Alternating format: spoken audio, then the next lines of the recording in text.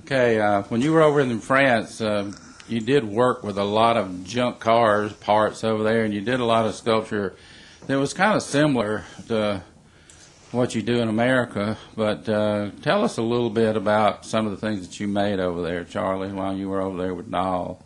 Well, I made a lot of, I like a lot of paintings. My first painting that I did was, it was called, it was a guy was standing over a lot of painting. It was called Unleashing the Art. So that was kind of like, to me, saying that I can create anywhere I want to go.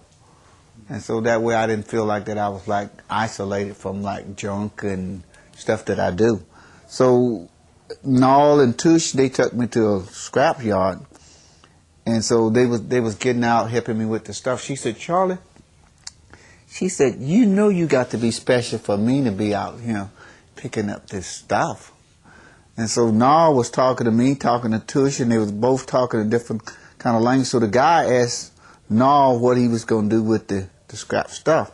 And so Noel told him, and because he was talking to all of us at the time, he said he was going to stick it up his backside. And Tush said, no, so you said that wrong.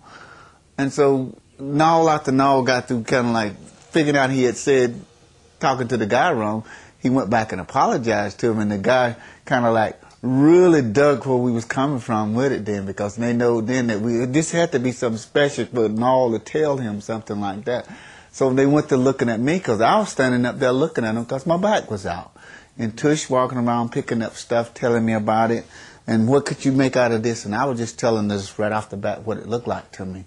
And so that way, I can always go anywhere in the world and create something.